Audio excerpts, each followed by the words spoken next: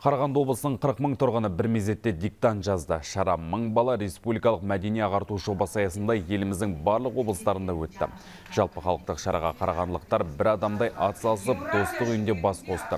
Диктантқа қатысу үшін жас мөлшер маңызды емес. Мемлекеттік тілде сауаттылығын тексерем деген барлық үміткерге бұл күні мүмкіндік берілді. Этномәдени бірлестік өкілдерінен бөлек оқушылар, студенттер, мемлекеттік қызметкерлер де жиналды.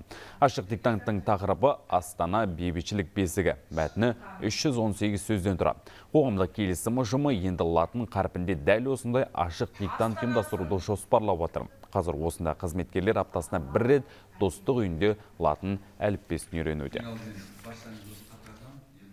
қазақтың ішінде өскенмін достарым қазақтар болған мектепті жақсы оқығанмын Ә, колледж уақытыда мен олимпиадаға қатысқанмын алматыға барғанбыз бірінші болған орын алғанмын маған да қиын емес.